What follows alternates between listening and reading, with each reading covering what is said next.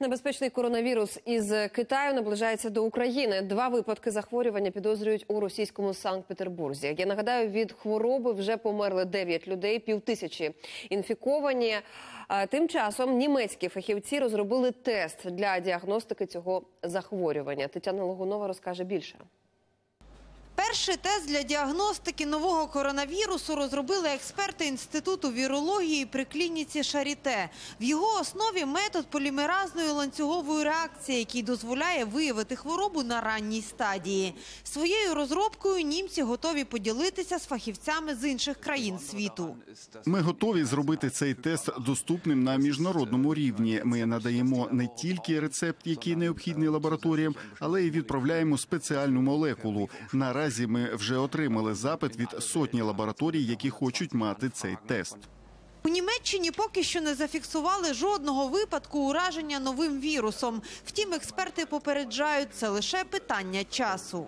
Зараз дуже важко спрогнозувати, як буде поширюватися цей вірус. Щодня з Китаю повідомляють про нових хворих, і це не може не тривожити. Я не думаю, що вдасться швидко взяти ситуацію під контроль і зупинити поширення вірусу. Сьогоднішні цифри з Китаю – 9 померлих і 470 хворих. Це на 100 інфікованих більше, ніж вчора. І китайці побоюються, що ці цифри лише зростатимуть.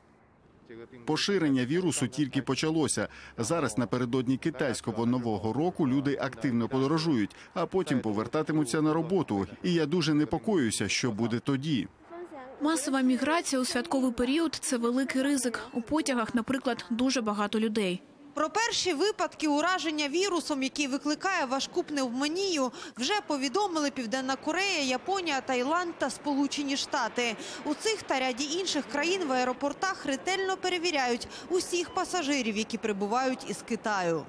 У Німеччині та інших європейських країнах додаткових заходів безпеки поки не вживали. Втім, до зустрічі з новим коронавірусом вже готуються. У разі потреби німці теж запровадять перевірки в аеропортах і забезпечать лабораторії тестами для діагностики вірусу.